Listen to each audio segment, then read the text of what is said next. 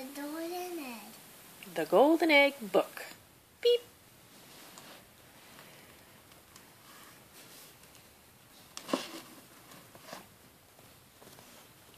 Once there was a little bunny. He was all alone. One day he found an egg.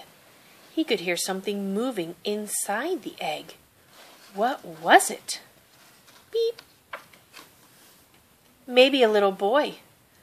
Maybe another bunny. Maybe an elephant. Maybe a mouse. Beep.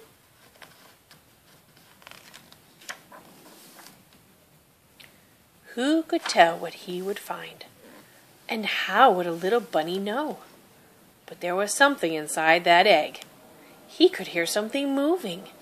He shook it.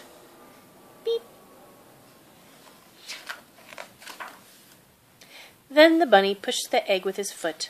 He jumped on top of the egg. He climbed a tree and threw nuts at it. Beep. He rolled the egg down a hill, but still it didn't break, and whatever was in the egg didn't come out.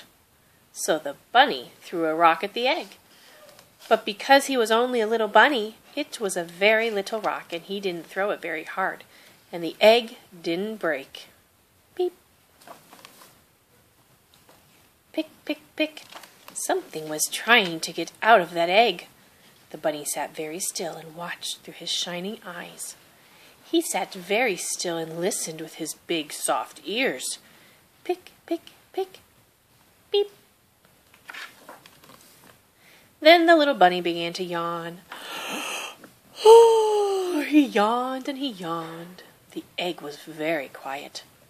He curled up all sleepy and warm close to the egg and went to sleep. He went to sleep because he was so sleepy. Then, beep, pick, pick, pick, and peck, peck, peck, and crackety crack. Out jumped a little yellow duck. Well, what is this? said the little duck when he saw the bunny. Could this little fur thing be?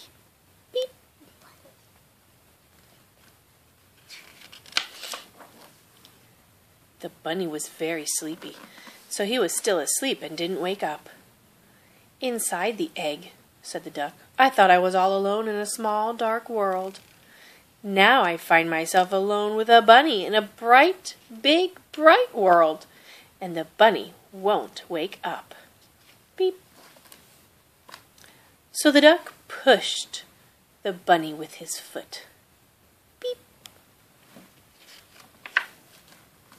And jumped on top of him and threw a little rock at him and rolled him down a hill. Beep.